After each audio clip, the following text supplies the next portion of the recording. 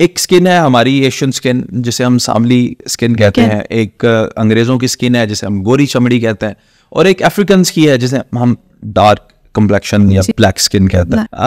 Skin cancer के हवाले से स्किन के रेजिस्टेंस के हवाले से बीमारियों के हवाले से एजिंग के हवाले से कौन सी स्किन सबसे बेहतर है? मुझे तो क्योंकि गोरी स्किन पसंद है गोरे टैन होते हैं काले ना जाने क्या चाहते हैं, ये उनको पता है, लेकिन बस इंसान तो अपनी, जो उसके पास है, उस पर वो राज़ी नहीं तो हमें should I be proud on my skin you should be absolutely बहुत सारे लोग हमारे पास आते हैं और वो यही कहते हैं, जी, हमें वाइटनिंग चाहिए। I am not very big fan of whitening injection लेकिन मुझे ये लगता है कि आपकी जो भी स्किन टोन अल्लाह ताला ने दी हुई है ना, उसी को अगर आप हेल्दी रखो, उसी को प्रॉपर केयर करो तो उससे खूबसूरत स्किन कोई नहीं है। A nice flawless skin I don't think it depends कि आपका कलर कैसा है।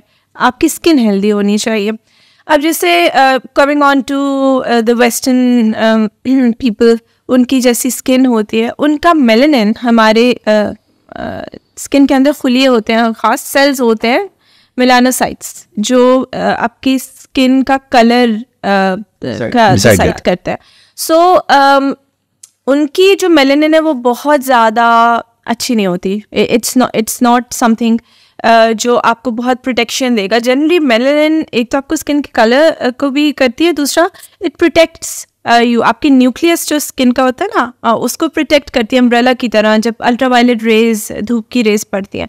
इस वजह से गोरी स्किन्स में जनरली वेस्टर्न एरियाज़ में आपको ज़्यादातर स्किन कैंसर्स बहुत कॉमन नज़र आते हैं। हमारी स्किन की मेलेनिन स्ट्रॉन्ग होती है। It is a different kind of chemically different है वो melanin so it's a different kind of melanin और उसमें we are very well protected with it लेकिन जहाँ पे इसके फ़वाद हैं उसके थोड़े से नुकसान ये भी हैं कि वो थोड़ी सी चीज़ से ही रिएक्ट होके तो मिलाजमा आपने सुना होगा छाइयाँ अक्सर पाकिस्तानी मर्द या औरत जो होती है उनको हो जाता है। So that is one of the drawbacks लेकिन it's so much better than having cancer so yes and black skin है इट्स हम जनरली uh, बहुत सारे स्केल्स हैं स्किन को जो जो हम तयन करते हैं कि स्किन कैसी है और किस टाइप की है तो मोस्ट कॉमनली यूज़ होता है फिट्स पैट्रिक स्किन टाइप होते हैं। वन टू थ्री फोर तो जितने आप if you're on the fair side तो वन टू थ्री और हमारी type three and four generally we हम उसके अंदर आते हैं। तो उसमें एक तो जब हम एशियन स्किन की बात करते हैं, इसमें हमें लेज़र्स के साथ बहुत केयरफुली लेके, उनको लेके चलना पड़ता है। इनकी स्किन की लाइक आई सेड ज़रूरत थोड़ी सी डिफरेंट होती है from the western skin so like I said every race has their own जो भी ट्रीटमेंट uh, प्रोटोकॉल्स होते हैं हर रेस के अपने जब स्पेशली जब हम लेजर्स में जाते हैं।